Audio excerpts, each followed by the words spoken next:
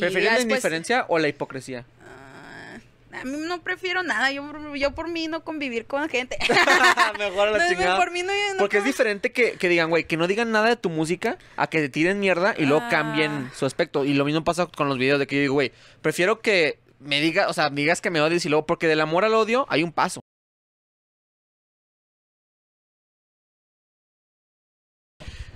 ¿Qué onda, raza? Bienvenidos de nuevo a su podcast Rank Topic Talks, el programa donde hablamos de temas tendencia con invitados especiales. El día de hoy nos encontramos, como pueden ver, en un lugar un poquito diferente al estudio natural. Probablemente es el, es, el lugar más cool que hemos grabado en, en toda la historia de Rank Topic Talks. Hay muchas cosas que ver, o sea, no tratan de no distraerse por tanta magnitud, o sea, desde el sillón que es rojo, todo está muy bien decorado. Estamos nada más y nada menos con Lil Boo. ¿Cómo estás? Hola, ¿cómo estás? Muy ¿Qué bien, rollo? muy bien, gracias por abrirnos aquí la puerta de tu casa. De que me recuerda ese programa de NTV. ¿Sí te acuerdas de ese programa Crips. de NTV donde entraban a las claro, casas? MTV Cribs, totalmente. Sí, que era de Que oh, qué sorpresa, qué sorpresa que están aquí.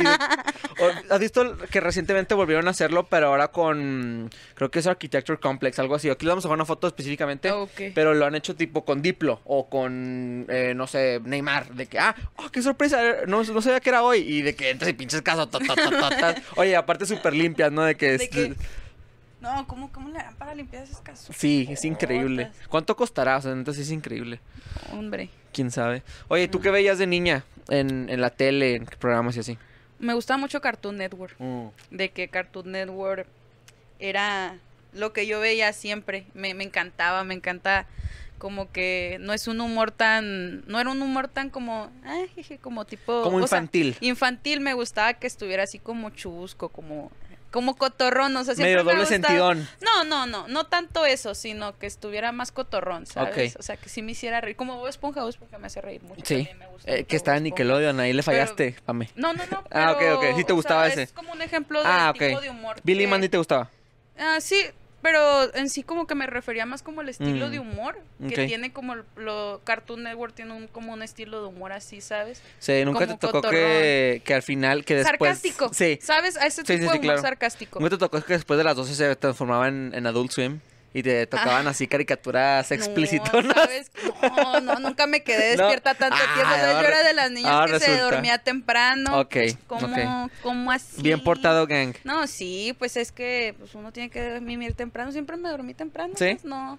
Digo, yo veía mis caricaturas y luego como me tenía que levantar a la escuela, pues mimir. Puro cuento. ¿Tus papás Sí. son, fueron estrictos en ese aspecto en tu infancia? ¿Considerarías? Um, ¿O no tanto? ¿Sabes? No fueron estrictos, pero siempre se acercaron a mí diciéndome, tienes que crearte un criterio propio de lo que está bien, está mal. Como que siempre me dijeron, qué créate padre un manera. criterio. Mi papá es el que me educó así y es como que siempre cuestiona lo que estás viendo y no te dejes llevar demasiado por las cosas. O sea, siempre me dijo eso de, siempre me criaron como bajo esa idea de eh, el criterio propio. O sea, no me, no fueron personas, bueno, mis papás no fueron de los que me privaban a hacer cosas, pero siempre me decían, no, es que piensa, ¿qué estás viendo? Cuestiónatelo. O sea, cuestiona que te gusta, piénsalo, y eso fue lo que, como que la tipo de crianza que me dieron. Porque, por ejemplo, me, yo veía Los Simpsons, siempre los vi desde niña. Mm, que a mucha gente no lo dejaban. y a mí mis papás nunca me regañaron, ¿sabes? Es como Sí. que sabían que yo tenía el criterio suficiente como para no influir, mal influirme de eso que estaba viendo, ¿sabes? Entonces, Una manera muy liberal de criar, pero siento que es la manera correcta. Sí, es la manera Si te soy correcta. sincero, yo también si tuviera hijos los criaría de esa manera porque como que, de hecho hace poquito estaba platicando con un amigo de eso y te quiero preguntar a ver qué opinas tú. Eh, mi amigo me decía que pues él creció muy católico, entonces él toda la vida creció con esta ideología de, oye, el domingo es para ir a misa, eh, mi hijito, y el, y el sábado es para ir con tu abuelo, o sea, como que muy tradicionalista. Entonces le comentaba, estamos hablando del hecho de, de que si en un futuro, ya viendo esta decadencia del catolicismo, del cristianismo, de cualquier religión en general, si a él eh, le gustaría que sus hijos se crearan así.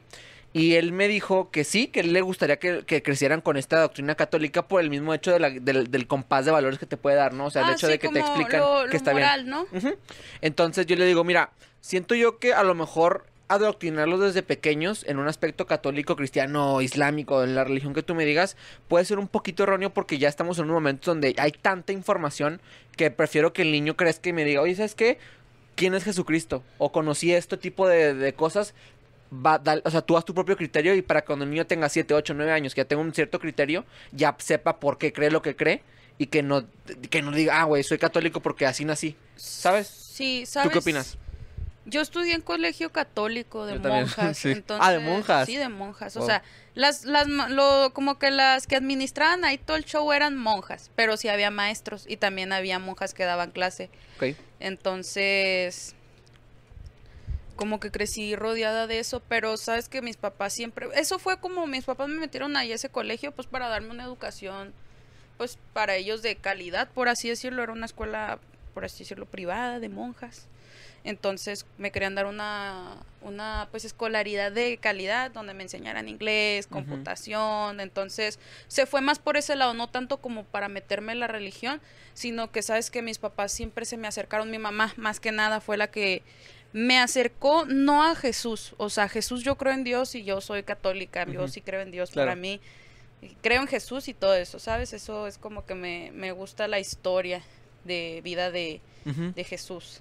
Entonces mi mamá me educó de una manera católica, pero no me educó de tienes que creer en esto, pero no me dijo, eh, como esos papás que a veces no te dicen por qué tienes que creerlo, sino solo créelo. No, mi mamá fue más enfocada a que me acercara espiritualmente, o sea, que yo explorara mi espiritualidad, que yo sintiera mi espiritualidad, que yo conectara con mi espiritualidad. Para ella eso era lo importante. No era tanto de tienes que creer en esto porque yo quiero que creas", porque sí. sino ella me explicó lo importante que es tener una espiritualidad, la paz eh, y todas esas cosas, ¿sabes? Entonces, ya uno, ella como que me hizo el acercamiento, me explicó lo bueno de la espiritualidad, y ya después yo me metí a, Aprender un poco más. aprender más. sobre pues la teología, porque me gusta, me Sí. gusta la vida de Jesús, me gusta la Biblia. Hay ciertas cosas que no me parecen, que siento que se ha transgiversado bajo eh, los beneficios de ciertas personas. ¿Cómo Como que por siempre, ejemplo? siempre el egoísmo humano entra Sí. ahí en la espiritualidad. Inevitablemente muchas personas las usan para manipular y para cosas malas, porque pues es inevitable que el egoísmo humano entre en cosas, ya, ya sea en la política, ya sea en la espiritualidad, en cualquier cosa, siempre está el egoísmo y pues... eh, pero yo me acerqué más por mantener una espiritualidad sana porque siento que tienes que mantener todos tus aspectos de la vida equilibrados, emocionalmente, espiritualmente, este mentalmente, tu salud física, este tu rutina, todos tus hábitos, siento que tienes que tener este bien balanceado cada uno de los aspectos. Entonces, como que siento que tener una espiritualidad sana también es parte de es que Sí, de un progreso humano, de... de, de- un progreso de, del self self- por así eh, decirlo. apenas lo digo así totalmente. Sí. No, tienes toda la razón. Aparte el hecho de que, de que tengas tan... ¿Cómo te lo puedo explicar? Tan cimentado tus creencias desde una, desde una edad tan pequeña como tú lo comentabas que tu mamá te lo... Pues te hacía cuestionarlo y quién es más autoridad que uno mismo. ¿Sí me entiendes? Sí, O sea, como que muchas veces tú, piensas ese tipo de cosas por, por ti mismo. Está mejor. Siempre me dijo, es que yo no te voy a obligar a que tú busques a Dios. Tú búscalo cuando tú Y si lo tú chingón. sientas que lo necesites y cuando tú te sientas que necesitas eso en tu vida. Y Claro. sí, yo sí creo, sí creo en, en Dios, la verdad. Para mí, este, no sé, siento que la parte de la espiritualidad y tener espíritu, este, pleno te ayuda mucho a hacer que la música se sienta. Ándale. ¿Sabes? Creo que Sí. el espi- la espiritualidad y eh, la sensibilidad de transmitir con tu música va muy de la mano. Eso es lo que pienso yo. Aparte también el hecho, hay un libro que, que se llama creo que Outliers, algo por el estilo, no lo, he, lo- no lo he leído, pero mucha gente me lo ha recomendado, que habla acerca de por qué estas grandes figuras como por ejemplo Tom Brady, Michael Jordan, todos estos ganadores tienen en sí una creencia efervescente acerca de algo. Puede llamarse Dios, puede llamarse a lo mejor espiritualidad, eh, meditar, pero si, no- si no tienes como un objetivo, no un objetivo, pero como, yo- como un guía que te esté di- diciendo, güey, ok, estás, vas, quieres ser el mejor basquetbolista de la historia, el mejor jugador del mundo, ¿para qué, güey? O sea, tienes si que creer, tienes tienes, que tener que, creer. fe. Es que en sí, creer en, en Dios es casi como creer en, ¿En ti? mismo. Total. Entonces siento que, por ejemplo, a mí me gusta, en sí, yo creo en Dios y creo en lo que es la espiritualidad de tener una conexión con Dios.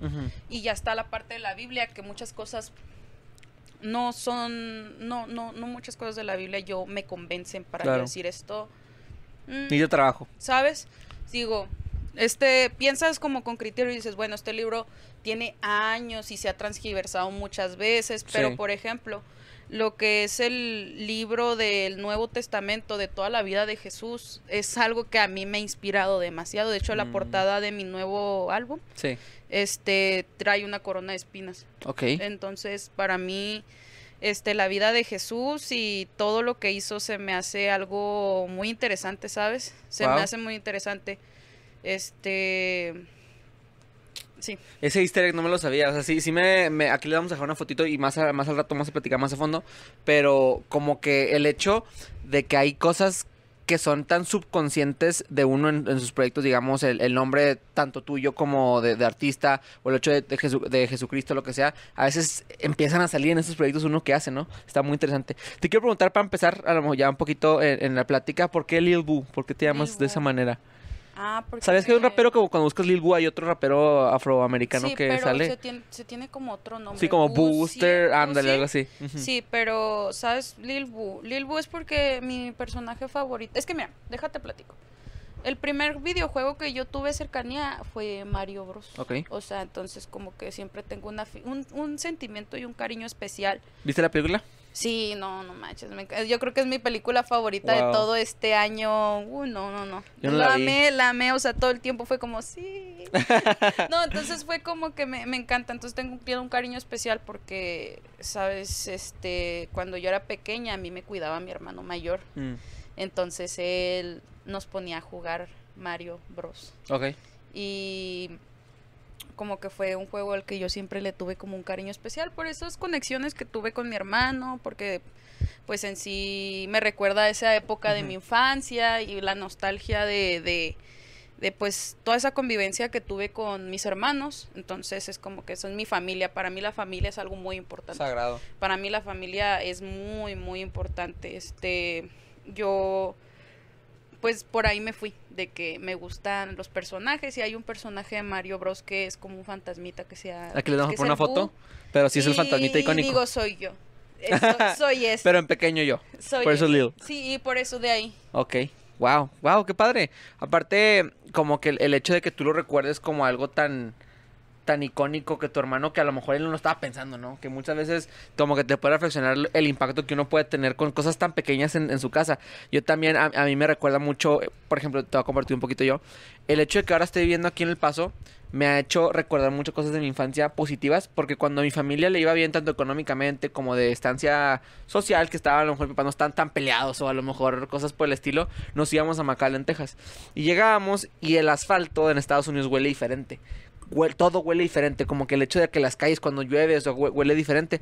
Y cuando yo llego al paso, llego en una época de lluvias y respiro y me recordaba esos momentos padres que eran, oye, cuando veníamos a McAllen, mis papás estaban bien con ellos, o sea, nos trataban súper bien, nos compraban cosas, claro, o sea, sa- sabes, como obviamente no me refiero a lujos, pero pues el hecho de muchas veces estar con tu familia era el premio más grande Sí. que puedas tener. en eso este concuerdo contigo para mí yo creo que hay muy pocas cosas valiosas en este mundo para darme aquí con la ropa y con todo eso pero Claro. para mí todo eso son cosas superficiales para mí todo lo material no si a mí por ejemplo se me pierde por ejemplo la cadena esta que tengo o Muy se padre, me por cierto. rompe no sé la pantalonera o algo o sea no me voy a Hay agüitar. otra, hay otra Me pantalonera. voy a hay agüitar al rato, no sé, pescó ahí una en la paca. O pues ya en algún momento Claro. pues habrá para otra. Entonces como que para mí lo material no tiene... No, pues para mí lo material siento que son cosas que eso se puede volver a recuperar, pero la familia, los momentos bonitos que pasas con, con la gente, este, las emociones, las conexiones emocionales. No, eso no tiene precio. Sí. Para mí, para mí eso no tiene precio, sinceramente. Para mí, mi familia es lo más importante. Yo creo que sí, eso es lo más importante para mí, mi familia.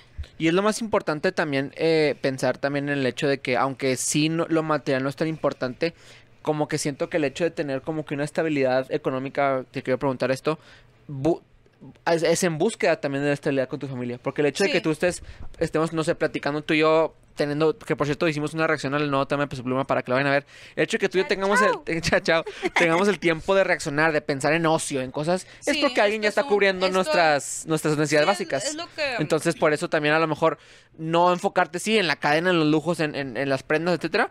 Pero oye, cuando llegas a un nivel, me imagino que pues, nuestros papás llegaron, a lo mejor nosotros podemos llegar un poco más en, en su momento, podremos entender lo mucho que es importante la estabilidad, tanto emocional y económica, porque cuidas de los tuyos. Sí, es más, va más por ahí, por el agradecimiento. Creo que yo, mi éxito personal, este, usualmente, pues, obviamente la realización y todas esas cosas que, pues, para mí creo que son más secundarias, pero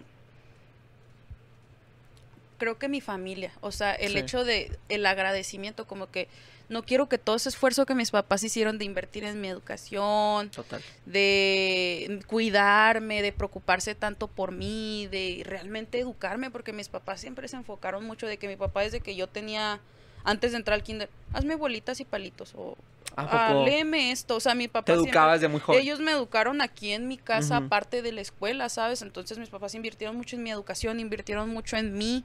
Entonces para mí regalarles que yo realmente me realicé y fue una persona, pues por así decirlo, pues hasta cierto punto exitosa, es como regresarles a ellos y decirles, hicieron un buen trabajo. O sea, valió la pena cada uno de sus esfuerzos y el tiempo que se tomaron, porque mis papás se tomaron el tiempo, ¿sabes? Y eso es una cosa que yo agradezco mucho porque, pues, son humanos también. Sí. Y, y si a mí me duele algo, yo sé que a ellos también les duele. Y pues, ¿quién más? Bueno, en mi caso, creo que mis papás son muy sinceros conmigo y nunca me, me han dicho algo como tipo para dañarme. Tal vez a veces no han usado palabras correctas, pero siempre han sido este personas. Provenientes del amor también, ¿no? Porque tiene que ver, me imagino que, ah, por ejemplo, en este caso, tú que estás persiguiendo y que estás viviendo una, una carrera artística, un- una carrera no convencional, o sea, Ajá. porque pues la, la verdad cuando, creo que hay más abogados que cantantes en este mundo, Sí.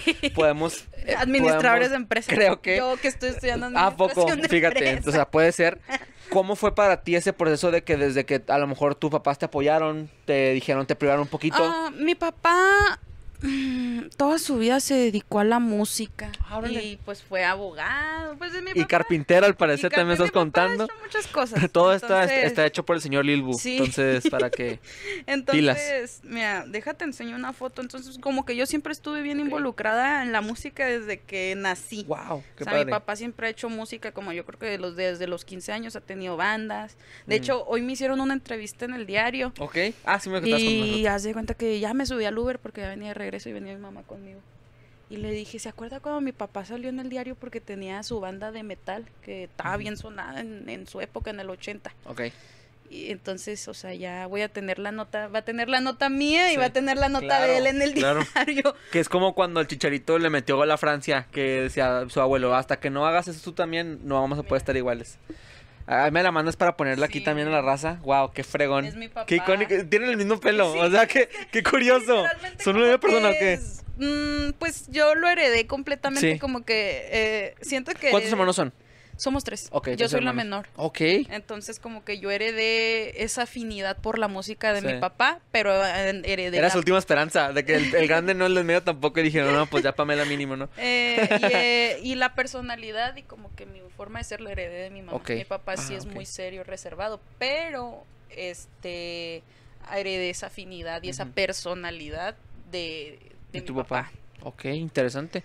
Wow, no, es, es, es padre como que tener esta, esta conexión tanto carnal como pero también filosofal con tus, con tus, eh, ¿cómo se llama? Con tus papás, pero también los papás heredan ciertas cosas. Por ejemplo, mi hermana, mi hermana menor, bueno, somos tres también en mi casa, ella es la en medio. Ella, mi papá falleció cuando yo, yo era muy joven, pero yo tenía 12 años cuando mi papá falleció. Y ella, aunque sí lo conoció por brevedad, ella tenía 4 años, ahorita tiene ya casi 18. Pero las actitudes que tiene de mi papá son casi, casi copiadas. Y no lo conoció Sí, tanto. Es increíble, dices, güey, o sea, ¿cómo es posible que tienes el mismo humor, te caminas igual, te ríes por lo mismo, te duelen las mismas cosas y no lo conociste? O sea, literalmente es hereditario. Es hereditario. Saludos, Sí, que la que edita los podcasts, entonces saludos. Hola. sí, yo siento que es hereditario. Sí, es Por hereditario. ejemplo, este, como que mi papá decía, no, Pamela como que todos tienen como una forma de ser así parecida a mí, pero Pamela no lo sé.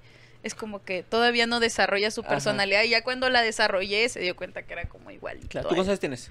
Yo, 21. 21. Te ves, Sí. te ves más joven, ¿eh? Pensé Ay, que- sí. No, en serio, ¿Cómo pensé no? que tenías, pensé que te- me de dijiste, que yo, yo bien acabadota así por la escuela. De que ya la- de las por la escuela y por, pues por, es que llevo las dos cosas, Sí. la música y la escuela. Es que cuando me bien dijiste escuela, exámenes finales, no sé por qué, aparte más porque, digo, la primera carga, que es la primera vez que nos vemos en persona, como que en redes también tienes una afinidad como que muy inocente. Entonces como que yo pensaba que pues, la morra está en prepa, o sea, o la morra No. está apenas entrando a la uni. No, no. Pero, ok, bueno, ya- No, estoy. pues, no, estoy, estoy, entiendo. Estás bien, estás estoy bien, estás bien, Pame, muy bien, muy universidad. Bien. ¿Cuánto te falta? Bien, uh, no. ¿Quién sabe? es que en la universidad es como tipo, entras, pero nunca sabes cuándo Sí, vas a salir. no. Y eso, eso me da, eso me aterra, Es, ¿sabes? es como una relación tóxica, entras pero luego dices, puta, ¿cuándo no, salgo? Ya, ya, quiero salir de esto, sí. Sí. Sí, pero. ¿De qué estamos hablando? Eh, bueno, estamos hablando? cambiando un poquito de tema, Ah. ¿cómo ves esto de llevar una carrera no convencional, pero llevarla con una carrera? O sea, ¿tú alguna vez piensas que a lo mejor cuando tengas un sustento económico más grande de la carrera de la música, vas a dejar la universidad o quieres sacar no, tu carrera? No, no, no. Es que, mira, cuando tú te dedicas a la música de manera profesional, por así decirlo, ya entras a la industria de Sí, la claro. música, es un negocio, es una empresa. Sí, sí, y administración de empresas, pues Te enseña todo, contabilidad, derecho laboral, derecho mercantil.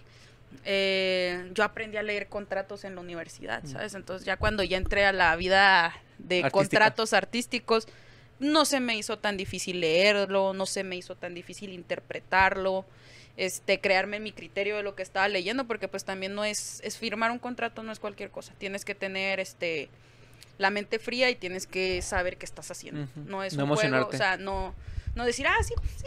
Sí, No, que o sea, tienes, que, y... tienes que leerlo, tienes Claro. que leer todo y es- a ver, ¿qué, es- ¿qué se va a hacer? Y estar bien aterrizado. Entonces eso fue lo que me ayudó la carrera de administración. Eh, estudió una especialidad en estrategias comerciales, entonces eso me ayuda mucho a vender mi proyecto. Y pues me ha ayudado mucho a gestionarme, eh, a saber cómo, por ejemplo, tratar este con las personas con las que trabajo, porque también La eso- psicología del negocio también tiene mucho que ver. Mm, No tanto eso, sino este, por ejemplo, no ser tan arrebatado de que decir, ah, no, pues vamos a hacer esto y esto así, no, o sea, porque tienes que entender que las personas tienen sus Mm, tiempos, tienen- ¿sí me entiendes? Sí, o sea, sí, tienes que Recursos humanos. respetar sus tiempos, Sí. tienes que escuchar, de que muchas veces, a veces uno como artista de la emoción se ciega y no escucha. Entonces, lo que me ayudó mi carrera es a, a- a tranquilizarme, pensar, y bueno, tengo que pensar, este, tengo que tranquilizarme y tenemos que aprender a Sí, cómo, cálmate, ¿no? cómo- Pues, cómo trabajar, Sí, porque sí, pues es que en sí tienes que saber trabajar con los demás. Claro. No guiarte tanto por tu emoción y por tu, ay, no, es que vamos a hacer esto y esto. No, no, o sea, aterriza. Aterriza. Sí, claro. Vamos a hablarlo, vamos a ver cómo se va a hacer. Y pues eso fue lo que aprendí. Realmente, hasta ahorita es cuando ya estoy bastante consciente de eso, ¿sabes? Antes era como que era muy arrebatada para hacer las cosas y ahorita ya, con lo que me enseñaron en la escuela, aprendí más a, a gestionar bien todo, ¿sabes? A gestionarme y a relacionarme mejor con las personas.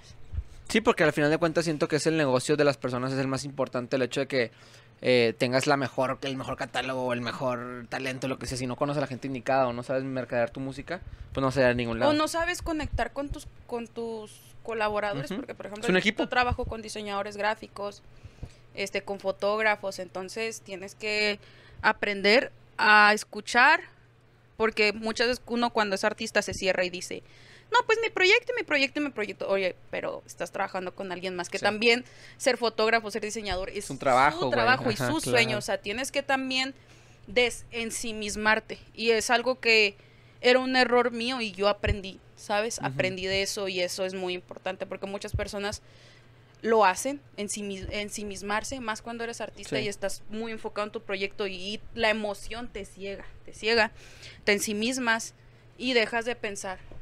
Entonces es como que es algo que yo aprendí mucho. De, ok, ponte en los zapatos y, piensa como también el diseñador, oye, de, para él es su sueño, entonces tenemos que hacer algo en conjunto Para llegar que al también objetivo. a él le agrade, ¿sabes? Claro. Que también él se sienta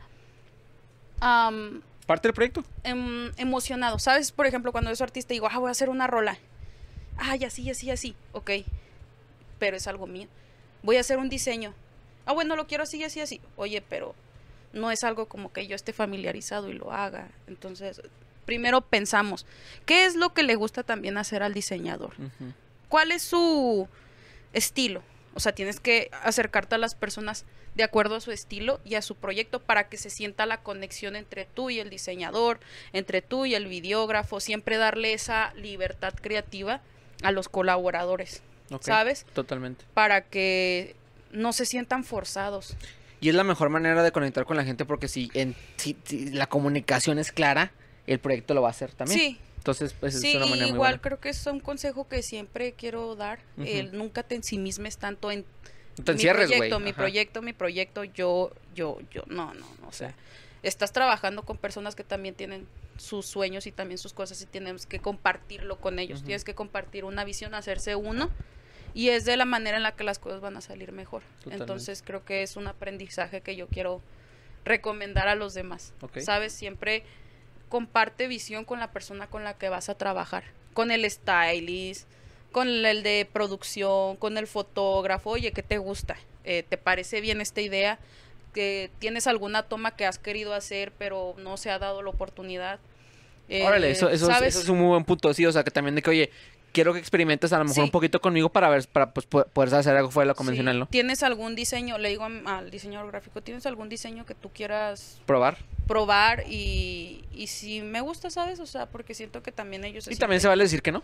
Total, de oye, güey, ¿sabes qué? A lo mejor si le Ah, hacemos, pedir- modificamos un pedir poquito. cambio, bueno, aunque eso a mí me da mucha pena. O ¿En sea, serio? Pedir cambio sí, porque... Yo fíjate que yo no, eh, o sea, yo tra- he trabajado también tipo con, con a lo mejor un diseñador o un editor, lo que sea, le digo, oye, güey, sí, está padre la idea, pero si no me gusta, por ejemplo, en tu caso, tienes una- un estilo de marca muy establecido, o sea, obviamente todos vemos que es un poquito guido por la, por la onda asiática, como hyper, como por ese estilo, si alguien te muestra algo de que totalmente fuera de marca, pues no, Sí, pero es que te digo, hay personas que realmente es un poco difícil decirles... De tratar. No me gustó esto porque Sí. se pueden eh, que te molestar. pasaste de lanza, carnal. Y no, no, o sea, intento ser de lo más amable posible, pero sí se pueden llegar a molestar y pues, o después surgen conflictos Sí. y pues la verdad yo, este, me da pena por eso, o sea, como que desarrollo una pena por no generar conflictos con las personas con las que trabajo. Ya después, pues encuentras a las personas indicadas con las cuales trabajar para no sentirte atrapado en, oye, y si le digo esto y si se molesta, no, ya trabajas con gente que está abierta a recibir recomendaciones y también tú puedes recibir recomendaciones porque por ejemplo a mí si el diseñador me dice oye es que esto que estás queriendo está muy saturado no se va a ver bien si lo hacemos así yo le digo ok bueno eh, tú eres el que sabe entonces Dale, te voy a dar este la razón ya. y, y eso así es como me manejo yo intento ser muy dócil en ese punto. Hay veces que sí te voy a decir que el estrés a veces sí dices ay no que, que- sí te desesperas. Y hasta cierto punto cuando tú desesperas por el estrés puedes llegar a desesperar a la otra persona. Entonces creo que hay que desarrollar también eso es lo que también he trabajado desarrollar el autocontrol de la desesperación. Porque a veces, ay no, es que, ¿y si esto no sale bien? O sea, el simple hecho de sobrepensar y que te da ansiedad y pensar que las cosas no van a salir bien, o el hecho de que te estreses y no, no sepas comunicar qué es lo que quieres, puede desesperar también a la otra persona, ¿sabes? Entonces, sí también hay que estar conscientes de eso, de Totalmente. que puedes llegar a desesperar a alguien más por porque te da ansiedad la, la situación de ansiedad, ¿sabes? Sí, es ser líder al final de cuentas. Sí, entonces tienes que tener mucho control de emociones, saber tratar con, con la persona que está del otro lado, empatizar, ponerte en los zapatos, este, conectar y conectar visiones, ¿sabes? Entonces, pues muchas personas no les gusta reconocer que tienen esos errores, pero yo especialmente siempre intento no cometerlos otra vez. Ok, ya cometí estos errores, necesito arreglar esto porque yo no quiero perjudicar con mis errores y mi forma de ser y mis problemas de personalidad y actitud a otras personas. Entonces siempre tener el autocontrol, ser autocrítico, este, ser introspectivo es algo muy bueno para poder evolucionar como artista, porque al final del día los artistas que están más arriba de nosotros son personas profesionales. Entonces el ser profesional también va ligado con el saber tratar a las personas correctamente y también saber autocontrolarte tú, porque lo que haces tú, tú no sabes si lo puede afectar a los demás, ¿sabes? Entonces tienes que ser una persona autocrítica, con autocontrol, este, y eso es lo que pues recomiendo yo. Claro, no, no, no, pues gracias Lilo, o sea, neta sí siento que es importante ser líder en la industria. Oye, fíjate cómo es si pasamos a la primera tendencia, como te comentaba antes, Ay. aquí platicamos de temas en tendencia de las más noticias. Eh, como lo comentamos al principio, eh, acaba de salir el día de hoy, esto lo está viendo un poquito de después, la sesión de Bizarrap con Peso Pluma. Entonces ya platicaste un poquito en la, en la reacción que aquí les vamos a dejar una foto y el link de para que la vayan a ver, donde hablábamos precisamente acerca del tema eh, directamente, pero quiero platicar acerca de ti, acerca del declive de los corridos. Ah, vemos que hay una un declive relativamente porque pues sí hubo un pum. A madres de, ok, las 10 rolas principales del top 50 global eran, eran corridos y ahorita ya, a, menos, a- o sea, quitando la, la sesión de Bizarrap, ya no hemos visto que se están Bad Bunny volvió al, al- como que al trap, eh, afrobeat normal, vemos también que viene el, el álbum de Tiny el viernes, o sea, sí, eh, en junio, perdóname, o sea, si me entiendes como que a lo mejor crees que es una ola, crees que va a Ah, quedar, ¿cómo Creo ves? que es un género que llegó para quedarse como Digo, algo tiene, ya tiene mucho tiempo. ¿Sabes? Es como el trap. Este, hay traperos que llegaron y están en. Hay, hay Spice que hace drill, este, traperas, artistas de pop. Siento que Peso Pluma es un artista de su género que va a estar ahí, ¿sabes? Como va la a estar bachata, ahí. en su O bueno, no solo Peso Pluma, las personas que hagan regional. Es un género que llegó y se va a quedar como cualquier otro género que siempre está en los Ok. top, ¿sabes? Entonces, ¿sí crees que se quede como una constante Sí. en, en artistas latinos de que mínimo tengan todos un corrido? Así como vemos, por ejemplo, Jimena Sariñana, que en su momento sacó una canción con un dembow. O sea, oye, vemos a, no sé, Pablo Alborán, que aún así que es un poco más baladista, también tiene una canción con dembow. O sea, ¿tú crees que en un futuro veremos artistas Sí. de la nueva camada en el 2027 que van a tener un corrido en sus álbums? Puede ser. ¿Tú ¿Sabes crees? que, por ejemplo, hubo una temporada donde el dembow estuvo así de que full. El Claro. dembow dominicano con Toquilla y... Por dembow me refería al, al- al- literalmente al patrón rítmico que es tum, Sí. patum, Entonces te digo, es un género que llegó para quedarse para mí. Eso espero, ¿verdad? Porque a mí me gustan mucho Sí. los corridos. es que también no me puedes preguntar cosas así a mí porque te lo juro, no estoy siendo Objetiva. objetiva, porque a mí me gustan mucho los corridos. O sea, para mí los corridos eh, le robé la personalidad a los corridos de que es que, es que sabes que mi, mi Aparte, no, no, lo, no aparentarías, la verdad. Tú, tú No. sientes que es Taylor Swift y cosas por el estilo, pero no, néngale. hombre, no, no, qué cosas. No, es que sabes que los corridos, ¿por qué me gustan los corridos? Déjate, Sí, doy una pequeña, vamos a hacer un pequeño paréntesis Vamos de por ver. qué. Eh, sabes que uno, yo me agüitaba, yo estaba en mi agüitada y pues yo escuchaba música así tipo muy emo, ¿sabes? Siempre he sido muy así de que... mm, Pero agüitada por amor, agüitada por, Por, soy existencialismo. muy existencial. No, el amor, muy pocas veces me he agüitado por amor. Usualmente siempre es algo existencial. Sí. Como que existencial y porque me siento hasta cierto punto, a veces me siento estancada o no le hallo sentido a las cosas. Entonces eso.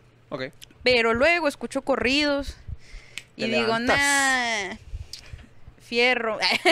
Fierrillo a la verga, frente. No, pues sí, este, me, me, me alivianan, me alivianan y me, me ayudan a... O por ejemplo cuando, ¿sabes qué? Otra cosa me agüita, por ejemplo, me agüitaba y ahorita ya no. Ok. O sea, ya adaptas esa personalidad de, de bélico. ya, es un Este, estilo de vida, no lo entenderían. Entonces, eh, lo adaptas porque, por ejemplo, la gente se mete contigo, nah, De que te tiran Ah, mierda me- en redes, cosas así. Música está bien fea Ah. o este, ¿y esa vieja quién es? O en la escuela, en la universidad, si me están escuchando. Eh, culeros, Ustedes bájenle. saben quiénes son. Bájenle con la pame. Este, en la ¿Qué universidad, no, a mí me vale, ¿verdad? Pues qué chida, ¿no? Pero te tiran en la uni. Mm, O sordeado, como de sordeado. que atrás de que están Sordeado, gente que, "Ey, ¿He visto sí. que no sé sí, qué? ¿sabes que Una muchacha... No, qué ya mal mejor es que, es que si digo, me voy Mira, a... no, no, no, mejor no digo no di nombres, pero- no di nombres, a lo mejor di la situación este, nomás. me ha- pues me han pasado situaciones como que primero era como que mucho desprecio y luego ya después se me acercaban a decirme, oye, qué bueno que te fue bien en esto, o qué chida, y, y como que es como... Ajá. O sea, siempre fue, siempre fue algo como que la constante que, se, que, que siempre hubiera comentarios atrás de, de mi persona. Y ¿Prefieres ya la después- indiferencia o la hipocresía? Ah, a mí no prefiero nada, yo, por- yo por mí no convivir con gente. Mejor a la No, chingada. por mí no, no Porque es diferente que, que digan, güey, que no digan nada de tu música a que te tiren mierda y luego Ah. cambien su aspecto. Y lo mismo pasa con los videos de que yo digo, güey, prefiero que me diga, o sea, digas que me odies y luego, porque del amor al odio hay un paso. Sí, igual no soy rencorosa, ¿sabes? Te digo, Sí. o sea, solo se me hace cura. Pero es, por ejemplo, a lo que voy con los corridos. En la universidad o en, en la vida, que se han metido conmigo. Ah, no, que tú. No, metido conmigo, despreciarme. Sí, no me gustó esto de ti. despreciarme a mí, pero una cosa son críticas constructivas, sabes que podrías mejorar esto, podrías pulirte más la voz o podrías este hacer esto y esto, o sea, los comentarios constructivos yo no tengo problema con ellos. O te recomiendo que hagan mejor esto porque eso no, no siento que, o que o comentarios Válido, válido. Pero hay gente que se ha metido conmigo y ha sido muy hiriente y muy insultiva. Y digo yo, ¿Tienes uno que te acuerdes? Específicamente, textual. Ah, Yo creo que si lo digo, sí se va a acordar el morro cuando me lo dijo. Este, me acuerdo que me dijo que yo no sabía cantar, que lo único que hacía era, era balbucear. Y que, no, pues puras cosas así. Claro. Me dijo que mejor ni me dedicara a eso. Y el- pues yo veo, el- yo veo el Spotify del morro y digo, Ah, también era alguien de la música. Sí, digo, Wow. 90 oyentes mensuales. Híjole, y brother. luego veo el mío. Sí. Y luego son casi 30 mil. Y digo, Creo que los números hablan por sí solos. Bueno, aquí estamos balbuceando, ¿no? Totalmente. Aquí, aquí estamos a la, balbuceando. a la gente le gusta mi balbuceo. A la gente parecer. le gusta que balbucee y que cante feo. O sea, así, Saludos a como, este así como me dijiste que cantaba feo, pues. eh, y ya lo perdoné, No, pero claro, pues te digo, es una cosa. Pero son cosas que te acuerdas Me porque. pues, acuerdo, ¿sabes? Siempre se me quedó muy grabado. eh, entonces digo yo.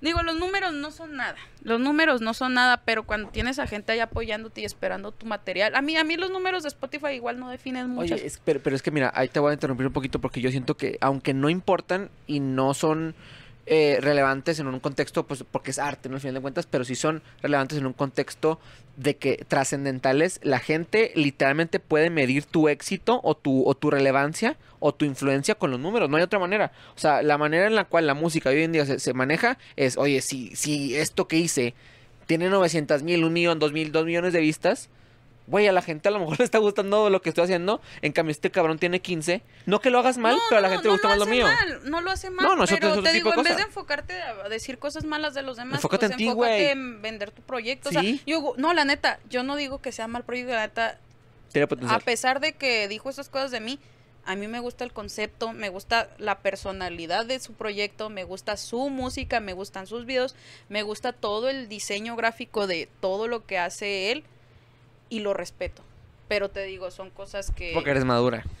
No, realmente lo respeto y y, yo lo veo, y "Ay, qué rollo, o sea, igual sabe, ya lo hablé con él, Mm, sabe bien ok. que sabe bien qué Menos mal. rollo, me senté con él y dije, o sea, es que pues esto que dijiste pues al chile ¿Qué pedo? fue hace mucho tiempo, pero sí me afectó y igual tampoco quiero estar mal contigo. O sea, yo me acerqué a, Claro. a- a- a limar las perezas, pero te digo, ahorita ya lo platico más como una anécdota de qué cura, ¿no? O sea, que, que, que hablen mal de mí ya después, pues, no sé.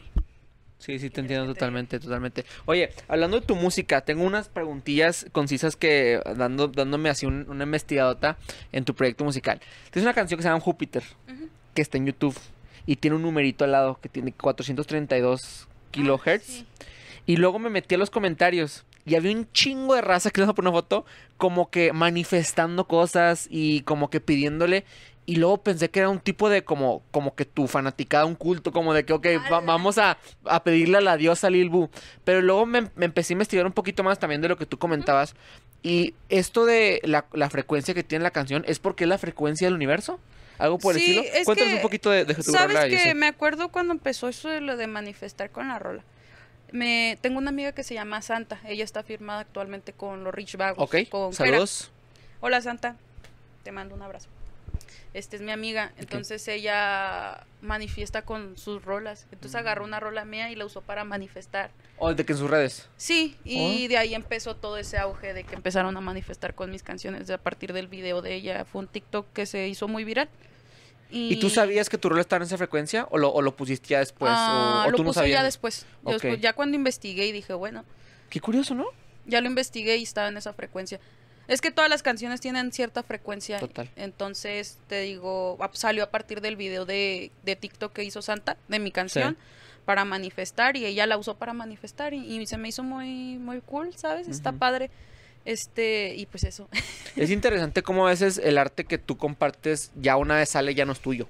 O sea, puede el día de mañana significar un canto de guerra, público. un canto de guerra en Ucrania, Sí. o puede significar una manifestación para alguien, o puede significar Sí, es que X la rola se hizo viral en TikTok. De hecho, ahorita creo que tiene 2800 Videos, videos, wow. adentro del audio de, de Santa. Sí. Entonces, pues son muchos videos Claro. usando la canción. Entonces, yo creo que eso fue lo que le dio el boom, de que ya la canción ya casi llega a un millón de Sí, reproducciones. en YouTube. Pero fue porque se hizo viral en TikTok, te digo. Entonces, por eso yo, era lo que hablaba anteriormente de Peso Pluma. Sí. Este. ¿Tú crees en eso? En el Mm. tipo de mani- manifestaciones, mm, de cantar y así. Yo creo que todo lo que tú te dices a ti mismo influye mucho. en- es como por el efecto mariposa, te digo. Si yo ahorita dicen que hasta la letra de una mariposa puede afectar todo tu alrededor y el universo. Entonces creo que todo lo que te dices a ti mismo y todo lo que sale de tu boca es es lo que es, ¿sabes? Por ejemplo, creo que hay en TikTok que estaban manifestando que te hablara tu ex o alguna cosa así, o, tu crush. Entonces, como que en la rola dice, después de las 12 tú me vuelves a llamar, ¿sabes? Pues que son cosas que tú afirmas cuando cantas. Entonces pienso, digo, no soy tan así, tan profundamente creyente, pero digo, tal vez puede ser que sí, todo lo que sale de tu boca, todo lo que tú piensas que es, todo lo que tú crees, Pasa. pasa. O sea, pasa porque al Pero ahí, ahí entra, y, y estoy de acuerdo contigo, como que siento que muchas veces, y creo que lo hablamos al principio, el hecho, el hecho de, has- hasta conectarlo, con- conectándolo con la religión, el hecho de que tú tengas fe en ciertas cosas, te impulsa a sacar de ti mismo esas tipos de afinaciones eso y creo, afirmaciones. eso creo, O eso sea, que creo tú lo escribes, güey, y dices, ah, cabrón, o sea, yo soy esto, yo voy a tener este carro, voy a andar con esta persona, voy a tener, por decir bienes materiales, por decir ese tipo de objetivos, ¿no? Que cada quien puede tener los suyos. Pero yo digo, ese tipo de cosas son un pequeño motorcito para sacar adelante lo bueno. Así como las oraciones lo pueden ser, de que el hecho de que tú digas, ay Jesús, por favor, dame un carro y un trabajo, güey, sí, ok. Jesús, por favor, pero también tienes que salir a trabajar. O sea, tienes que seguir a perseguir la, la chuleta. Y ese tipo de cosas me encantan porque estás decretando que te va a pasar. Y eso es algo, una mentalidad, en mi parecer, de una persona ganadora. ¿Sabes? Como de que, Sí, el, el sacar decretar eso. cosas te ayuda, te ayuda mucho a, a, a materializarlas. Entonces creo que hasta cierto punto, si lo vemos por ese lado, creo que puede ser real. ¿O qué opinas de la astrología? La astrología y ¿Crees? ¿No crees? ¿Eres Libra? ¿Eres verdad, Aries? ¿Eres...? Yo no soy tan creyente ¿No? de los horóscopos. Ok, ok. Eh, Yo tampoco, ¿eh? Yo tampoco. O sea, yo respeto a la gente que cree en los horóscopos, pero yo no creo casi. La verdad, no es que no crea, pero realmente no estoy fin. Es que, mira, yo siempre pienso que todo en esta vida puede ser. Yo no puedo decir Total. que no existe porque No te puedo probar puede que no es... ser, todo puede Sí. ser, todo en Es esta fe. vida puede ser, todo, todo. Entonces, yo no soy partidaria de los horóscopos, pero lo respeto porque yo siento que cualquier cosa en esta vida puede ser. Entonces, si la gente cree en eso, Vale, puede dale. ser Tú dale, realidad, carnal. ¿sabes? Al yo final no puedo, nos yo no puedo decir nada, no creo en eso porque se me hace una tonte- No, o sea, no, yo no puedo decir eso porque puede ser posible y existe para las personas que creen en ellos, como Si sabes. alguien cree en ello, existe. Por lo y, tanto. tal, y he visto que tienen muy buenos fundamentos, ¿sabes? Tienen, están bien fundamentadas las cosas. Con- conmigo no, no, no creo que sea tan, o sea, yo no pienso que esté tan bien fundamentado, o sea, como tú dices, la verdad lo respeto. no, no, no, hay pero cosas que, que como ejemplo, usan ¿qué has las estrellas, las cartas astrales y todas Mm. cosas. Entonces, si tú te metes mucho en eso, puede ser que encuentres algo teórico hasta cierto punto. Te digo, yo no estoy familiarizada ni soy partidaria de eso, Sí. Pero sí respeto a la gente que lo cree, ¿sabes? Porque para mí todo puede ser posible. Yo no tengo la verdad absoluta, para mí todo puede ser posible en este mundo. Conmigo me ha pasado conocer gente que te preguntan, oye, tú eres de esta manera, ¿eres Tauro? Y tú les dices, no, no soy Tauro. Ah, entonces eres Libra. No, no soy Libra. Ah, entonces eres Pisces. No, carnal, no soy nada ninguno de esos. Entonces como que a veces genuinamente por el estereo, por la por la semblante que ven o por las por los primeros segundos que te conocen, tratan de juzgarte con cierto estereotipo de signo. Entonces como que para mí nunca nunca me ha pasado que me digan, ah, eres tal y que le atinen a mi signo, que soy cáncer, by the way, para la gente que esté juzgando desde el principio de este, de este video. Es Pero como... hace curioso. Un, un por decir, ¿sabes? Es por un por decir, porque hay ciertas características, bueno, hasta el conocimiento que tengo hay ciertas características que signos. tienen signos. Entonces tal vez te relacionan con ciertas características de esos signos. Entonces Total. puede ser, puede ser, te digo, yo lo respeto bastante, porque, por ejemplo, tengo amigas que creen los, en, los, en los horóscopos, este, y que tienen conocimientos acá bien profundos sobre todo ese tema, porque es un tema completo, o sea, ah, tiene toda su teoría y todo eso, entonces pues yo lo respeto. Sí, sí, sí, tienes total razón. Oye, Pame, ¿cómo es si pasamos a la segunda tendencia, que está relacionada un poquito con lo del principio? Eh, La, segunda tendencia es con Alep, porque el sistema educativo del Colegio Nacional, eh, en algunas instituciones en el país, prohibieron ciertos tipos de cortes de pelo, incluyendo el de Natanael Cano, el de peso pluma, que tiene así como el mullet, el, poder pintarte el pelo ciertos colores. ¿Qué opinas de la censura que tienen las escuelas para que, güey, piensan que vas a pensar peor si te cortas el pelo como peso pluma o qué? Yo creo que hasta cierto punto, mm, mira, todo eso tiene un trasfondo. Eh, usualmente las escuelas te piden que lleves uniforme y que tengas el corte de pelo tal y que tengas los zapatos tal. ¿Por qué? Porque te están preparando para una vida laboral, por así decirlo, entre comillas, una vida laboral. Entonces, ¿qué hacen en la vida laboral? Te piden que vayas bien vestido, con uniforme, con el pelo bien. Entonces, en sí la vida te está preparando a que te hagas una persona formal para un trabajo profesional y que sigas normas y lineamientos para ser funcional, por así decirlo, en la sociedad. Pero siento que eso ya te está, bueno, yo tengo la idea de que eso ya te está empaquetando y metiendo en una caja. Cuando ya no es tanto así. Nosotros somos humanos libres de tener una personalidad y desarrollarla y crecer a partir de eso, yo creo que este no solo no solo somos la imagen de una empresa. Por ejemplo, cuando vas a trabajar en cierto lugar, oye, ponte la camiseta o vístete así. O sea, no simplemente... Que te ponen a trabajar no 15 creo- horas en la maquila y te dan Sí, pizza. yo no siento que nada más, este, creo que ese tipo de educación de los uniformes y todo eso es para, este, este... Tienes razón, poner- ponerte en una caja. ponerte en una caja para enseñarte a, a ser una persona bien vestida para, Sí. para la vida profesional, para lo que es ser un adulto funcional para la sociedad, Totalmente. por así decirlo. Entonces, siento que apaga mucho tu personalidad, ¿sabes? Apaga mucho eh, tu creatividad, porque hasta cierto punto la personalidad, traer un cierto corte de pelo, vestirte de cierta manera, es parte de lo que tú eres como persona y tu ex- libre expresión. Entonces siento que están privando la libre expresión de los niños y de Aparte las también, personas. El hecho de que hoy en día, pues tú eres el vivo ejemplo de que se puede vivir de otro tipo de cosas que no estar sentado en una oficina.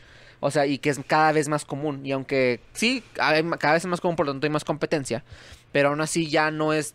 En 1985 o 1970 era muy loco tener un podcast.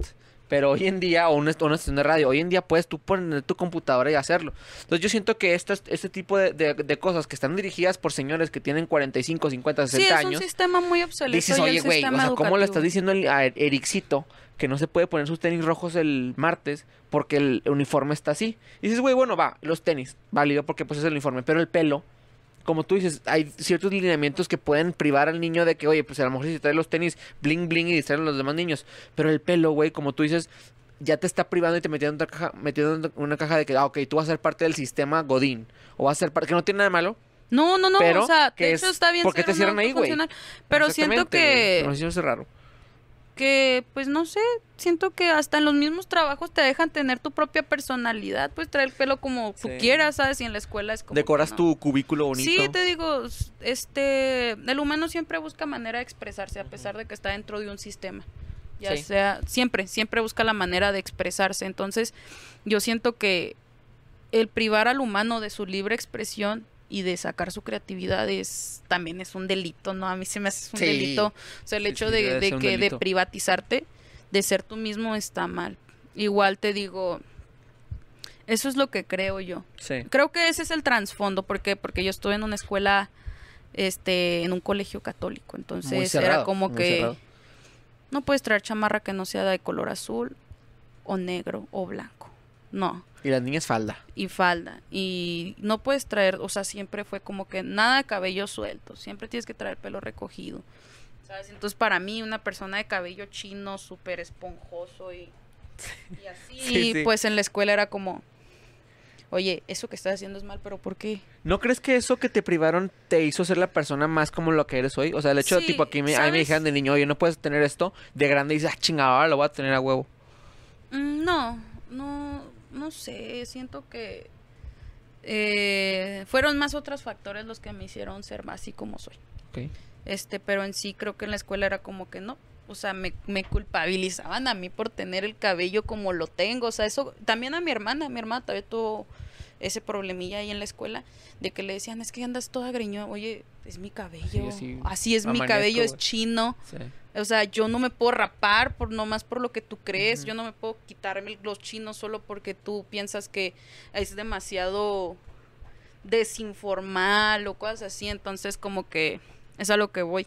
Eh, de hecho, hace un el lunes tuve una exposición y fue cuando fue como de las primeras veces que me vestí formal. Me puse camisa Ahora sí camisita. y pantalón y, y sabes, me, me gustó, me gustó, sí me gustó, te lo digo, y le dije al profe, es el primer, la primera persona que me hace vestirme formal para algo. Porque aparte te quitan puntos si no lo haces. Sí, sí, lo hice por la presentación, Sí. pero sí me, me gustó, me sentí ejecutiva, ¿sabes? Tal vez una vez Próximo video musical así va a ser. ejecutivos, de que los más ejecutivos Ándale.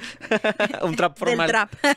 Oye, eh, hablando un poquito en ese tema de censura, ¿crees que ha sido difícil, el- bueno, precisamente para ti, ser mujer en la industria musical? ¿Crees que hay cierto techo de cristal? ¿Es difícil ser morra o no? Sí, ¿Por qué? muchos hacen muchos prejuicios a- alrededor de ti. No, pues es que a ti te ah, pues también otro comentario que hizo esa misma persona de que te Saludos a este cabrón. No, no lo insultes, no es cierto. eh. Bueno, beso. Te mandamos a pesar, yo supongo que fue, fueron comentarios que hizo hace unos dos años. Ok. Entonces digo, yo supongo que ahorita Ya piensa piensa. diferente, ¿sabes? Por eso yo le doy el beneficio. Ya, o sea, intento no estar mal con esa persona. O sea, yo lo veo a veces en eventos, todo cool.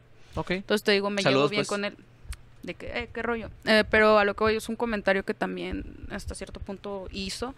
De que tal vez a mí solo me escuchaban por mi físico. Mm. Que los vatos que me escuchaban nada más porque me simpiaban, ¿no? Ah. Y cosas así. No nada más lo dijo él, también lo dijeron unas muchachas y...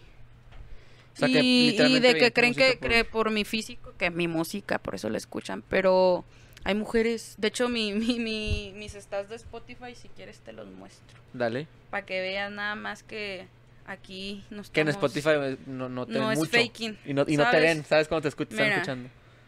No sé si se alcance. No, no creo, ¿verdad? Te lo paso. Sí, ahorita me lo pasas también. Aquí vemos el 59% son femenino. mujeres y el 35% son Wow. masculinos. En ese caso, si yo fuera eso, Pero a lo mejor, vatos, pero bueno, siendo el abogado del, del diablo, digo, yo no desconozco, a lo mejor eres atractiva para las morras. Entonces, No, pero pues es que no, no importa ser atractivo. O sea, por ejemplo, a mí se me hace muy bonita Ariana Grande y digo, wow, qué mujerón. O Rihanna, wow, qué hermosa. O sea, ¿qué tiene de malo ser bonita? ¿Y qué tiene de malo que la gente te escuche por ser bonita? güey, pues, ¿Y, y- y qué, qué tal? chingón. ¿Qué tal si les gusta tu música y les gusta también tu persona y les gusta todo lo que eres tú? Entonces me molestaba el hecho de que dijera, no, pues es que como que se me hizo muy feo el comentario.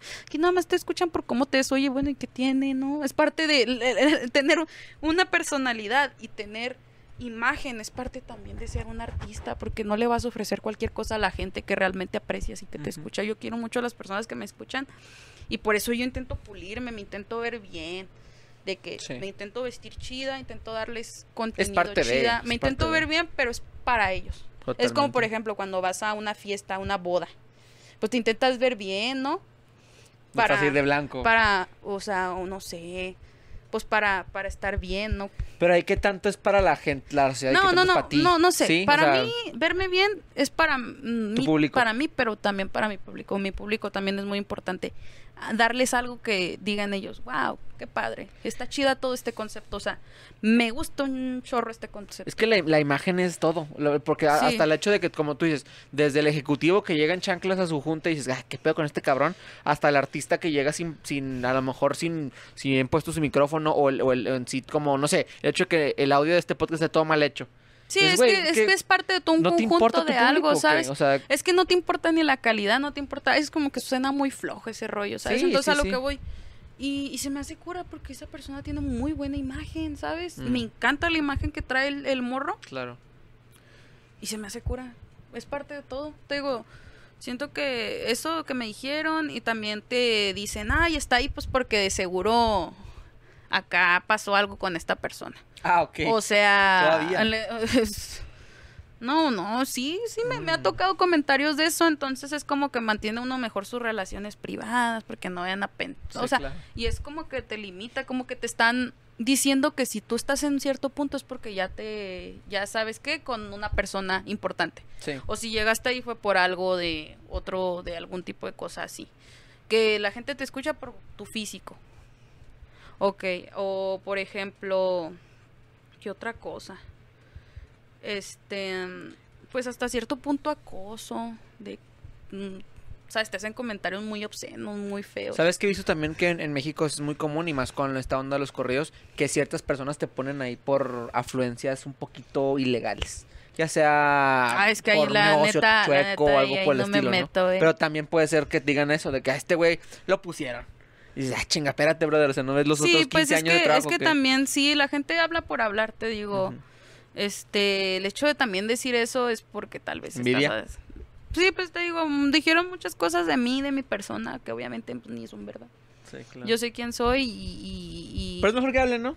¿A que no hablen? pues sí te digo, siempre hacen como que ese tipo de comentarios objetivizándote como mujer, que por, que por tu físico eh, tú conseguiste todo, ¿sabes? O sea, pero no, no, no va por ahí, porque hay las horas sin dormir y todo el dinero que he invertido en esto y, y te- o sea, todo, todo mi tiempo, mi, mis horas de dedicación, ¿dónde quedan? O sea. ¿dónde las dejaste? O sea, tú, tú no estás en mis zapatos como para saber qué he batallado yo y cuánto me he esforzado, así como para que tú también digas al aire, ah, pues a ti nomás te escuchan porque, ah, qué chida, ¿no? No, Sí. Oye, pues qué rollo, o sea, mejor ponte a jalar, ponte a chambear, Claro. para que no andes perdiendo el tiempo diciéndome que yo conseguí mis cosas de la noche a la mañana, para Sí. que veas cómo me costó Sí, güey, llegar ver aquí. un día mi estudio para que veas qué pedo. En un día en mi vida. Te digo, o sabes que otro problema cuando eres mujer es el hecho de tu físico. Todo se vuelve tu, ah, estás bien gorda. O se cortó el pelo. No mames, qué pedo que se cortó No, el pelo. casi siempre son comentarios sobre tu Del peso. ¿sabes? He estado viendo, por ejemplo, Ariana Grande también la, la otra vez la estaban atacando que porque estaba muy delgada. Mm. O está esta Tini de Argentina que también, Sí, ah, claro. estás muy flaca. O sea, y conmigo, oye, estás muy gorda. O con otras artistas que yo conozco, oye, está gorda. Este, digo yo, ¿por qué la gente se cree con el derecho de, de meterse en tu físico? O sea, porque para las mujeres todo es el físico. Porque, por ejemplo, hay artistas de regional que tienen ciertos cuerpos diferentes y Están más gorditos y nunca les dicen yo nada. no, pues no me refiero tanto a eso, sino me refiero a que todos tienen cuerpos mixtos y variados. Mm. Hombres, y ¿te nadie, hombres sí, hombres sí, nadie dice, eh, está bien gordo o eh, está bien flaco. O sea, yo muy pocos comentarios puedes ver sobre su físico, pero A cuando eres menos mujer, que- sí. todo se llena ahí. Oye, gorda, o oh, flaca, fl- ¿sabes? O sea, creo que ese también es un problema de ser mujer en la industria. El hecho de que estén El criticando hecho tu de que tu imagen es más criticada. Sí. Sí, qué triste. Aparte se supone que también de- deberían de haber mucho más proyecto. Y hablando de proyectos, eh, Lil Bu, quiero, quiero eh, ahorita platicar un poquito así lo ya para cerrar el programa. Sabemos que tú eres una persona muy experimental, al menos para mí, ¿no? Para una persona que no es tan convencional, que no, que no escucha tan tan constantemente el hyper trap, el hyper pop, el no sé cómo lo podemos llamar tu sonido. Cuéntanos un poquito de este álbum que está saliendo en estos días y aparte qué es lo que vienen 13 temas, ¿no? ¿Qué es lo que estoy viendo? Un poquito, ¿qué es el hyper pop para empezar? El hyperpop es como un tipo de pop este con ondas Electrónicas, electrónicas, de techno, con voces muy procesadas de que con bastante autotune, con efectos, con bastante efecto, entonces me gusta ese rollo, me gusta que suene acá bien me, ondeadote. me gusta también. Me gusta que suene bien ondeadote para que pues, para que te ondees, ¿no? Porque yo soy una persona bien ondeada. Claro. Entonces te digo, va muy a, muy acercado a esos sonidos de electro, de electropop, de hyperpop. Tiene Jersey Club, que es el género que hizo este Bad Bunny en su última canción. Ok, se llama Se Jersey llama Club. Jersey Club. Entonces tiene Jersey, Jersey, Jersey. Sí, no Jersey sé. Club. Sí, entonces, em, ¿qué más? Tiene trap, tiene R&B, tiene, Aquí le vamos a poner, bueno, no sé si se ve, pero aquí le vamos a poner la, sí, la portada. está tiene reggaetón. ¿Ah, ¿Reggaetón? ¿En Eh, serio? sí, tiene una canción de reggaetón. Eh, Vi que tiene varios features también. Cuéntanos Sí. un poquito de eso. ¿Dónde, dónde sacas, o sea, la inspiración para imitar a quién? ¿O dónde salen Por estos artistas? ejemplo, Sosa es un amigo mío que lo conocí en una, un colectivo en el que estoy, que se llama Mod, Mode. Entonces, pues ahí lo conocí y pues nos aventamos un reggaetón y la verdad ese chavo es del es el reggaetón reggaetón de Ciudad de México, de Ok, CDMX, del bellaco. de que bellaco, la de los mejores reggaetones. Un saludo a Sosa. Saludotes. Este muy muy buen reggaetón, entonces te Es digo, productor, Sosa. es productor, este es cantante y por ejemplo Bonsai es un morrillo de 15 años, ¿tú crees? Bonsai. Se llama Bonsai. ¿Tienes cin- 15 años? 15 años. ¿Y, y esa él rola que es con, con él? es Jersey Club. Ah, ok. Y, y no tiene su comunidad, o sea, para los la 15 chingada. años y tiene una comunidad. Saludotes también. Te digo, yo creo que una vez Kanye West dijo, para tú poder hacer algo chida, pues tienes que escuchar a la juventud, o sea, no tiene, bueno, también puedes escuchar a la gente experimentada, pero siempre tienes que escuchar a la juventud. Y pues ese chavillo es como cinco años menor que yo, seis, Seis. seis años menor que yo, y trae un rollo bien chida, y entonces pues te digo, yo no me limito, yo trabajo con gente que me inspira y es, el morrillo ese me inspiró, ¿Te gusta más trabajar con gente o eres más individualista? me gusta más individual, nunca Sí. es como que ¿Tú, ah, tú produces tus rolas las del principio o tratas de No. meterte en la producción o Este, más? me meto en la producción y, y ahí estoy dando, quiero esto y esto así. Pero, por ejemplo, también una persona que es fundamental en mis proyectos y en mi música es José, este, Lich, se- es un nombre Saludos. artístico. Hola, José. Y pues la verdad, este, él es el que me da ese sonido experimental. Hyperpopístico. Sí, Lich es una persona bien, bien, bien, bien, bien, bien, bien experimental. Él como que creo que me quedé trabajar con él porque yo todos mis trabajos los trabajo con él. Es porque él realmente me entiende, ¿sabes? Él entiende de que, oye, sabes que quiero hacer algo acá bien experimental. Y él dice, ah, sí, arre, ¿sabes? Compartimos una visión. Sí, claro. Y él siempre da buenas recomendaciones, es muy honesto conmigo y eso me gusta, ¿sabes? Es honesto, no es como que sí le voy a dar por su lado para que ya este, para que ya ah, para sacarlo. No, no, no, siempre me dice, "Oye, pues podemos hacer esto y podemos hacer esto así para que quede mejor esto, ¿sabes?" El Wilson, no le hagas tanta confianza, muerde. A la madre, ok, cuidado. Bueno, ¿y luego? Bueno, solo déjalo que te huela. Ay, me mordió. No, Wilson. La primera mordida animal en el podcast, históricamente, raza. Es que sí, es medio erizo. es- es, es sí erizo, se ese, ese morrillo es erizo, ¿sabes? Como Nah, no que pasa nada. se ondea, dice, ¿y, ¿y este chavo quién es? De hecho, si ven la, si ven la reacción, le puso pausa al, al video, entonces, sí, al audio, se perdón. subió a la computadora y le puso Ya pausa. sé qué loco, desde que ya cállense, güey. Pónganse a grabar. Oye, no, el Lil Book, güey, el Chile, felicidades por, por este proyecto que estás construyendo. La verdad me, me emociona mucho. Eh, que creo que lo pueden encontrar donde, en pues, todas las plataformas digitales, ¿no? Para que. Sí, en todas las plataformas digitales. ¿Cuándo sale pues, precisamente? Oye, o sea, yo, yo sé que ya salió cuando salió esto, ¿no? Sí, ya salió. Cuando, cuando esto ya está saliendo es Este sale el porque 9 ya de salió. Sale, sale el día que sale. Esto sale el día que sale el álbum. Excelente. Entonces, vamos a tener aquí la premisa del primer podcast después del álbum. Muchísimas gracias. Así es. Oye, ¿cómo si pasamos a la última tendencia? Va. Ya para ir cerrando el programa. Esta a lo mejor te puede interesar porque va relacionada con acá, acá mis ojos. Mira, la última tendencia es Auburn, Maine. Porque te voy a ¿Qué es contar una historia. Auburn es una ciudad en el estado de Maine, en Estados Unidos, en el norte. Sí, pues fue tendencia esto en Twitter. Una señora llega con su animal, eh, con una jaula, y la deja en una tienda de mascotas. Y la deja. Esto pasó en Auburn, Maine hace dos días. Y la deja y él le pregunta a la recepcionista, hola, buenas tardes, quiero que le corten las, las uñas a mi mascota. Dice, viene siendo su mascota.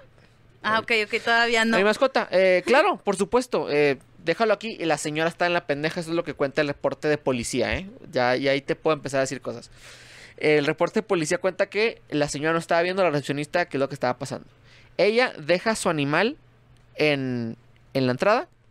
Cuando la señora voltea, la señora recepcionista ve que es un animal que aparenta ser como un perro o un gato, un- algún tipo de felino o perro, Ajá. no sabe bien qué está pasando.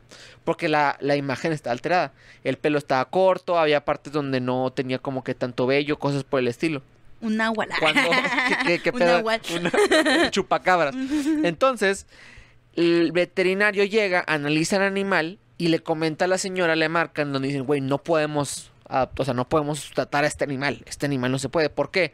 Güey, le hicimos tests y, y vi- y vimos su, su anatomía. Es un mapache. Un, ¿Era ma- un mapache? un mapache no puede ser tratado aquí. ¿Cómo no le vas a cortar las uñas a mi mapache. No, no, no, no, no se puede. no está domesticado. El pa- mapache lo estaba domesticado por ella, pero la alteró. O sea, no sé si haya fotos, esto lo leí hace poquito, pero de que no sé si haya fotos, pero aquí le vamos a poner foto del mapache, lo que sé si hay. Pero el mapache lo tenía con el pelo corto, está así como que medio distorsionado. Y de hecho es ilegal en Maine hacer ese tipo de cosas. Entonces, no solamente no le cortaron las uñas al mapache, sino lo terminaron sacrificando. No, pero ¿por Le qué? dieron eutanasia al mapache. Chan. Entonces- Cuando vas por un corte de uñas y terminas Muerto, o sea, te- desvivido. te funaron No, totalmente. Entonces, te qué quiero comentar. A mí sí se me hacen ¿Qué bonitos, opinas? pero sí sé que son un poquito agresivos, pero eso no tiene pedo, no? Qué derecho a, a desvivirlo. No, pues qué rollo, ¿no? Qué loco, yo no entiendo por qué. ¿En tu casa tiene algún tipo de, no sé, de costumbre rara o algo así que tú digas, ok, esto no es tan convencional que, que las otras familias a lo mejor estarían un poco extrañas? Que en tu casa hagan algo que nosotros no. Pues es que somos de rancho, no sé si eso sea raro. A ver, pero cuenta algo que hacen que tú digas, ah, esto es muy, muy común en mi casa. O comemos esto. O dicen esto. Ah, O tenemos esto. También. no, pues no, no sé qué decirte, pues te, te digo, tenemos borregos. Ah, ok. ¿Tienen Entonces, te borregos? digo, los borregos. Aquí en Ciudad Juárez. Sí, tenemos ¿En el patio o qué? borregos. No, no, en el rancho. Ah, ok, ok, ok. caballos, entonces como que somos muy rancheros. Mm, órale, eso Y- está bueno.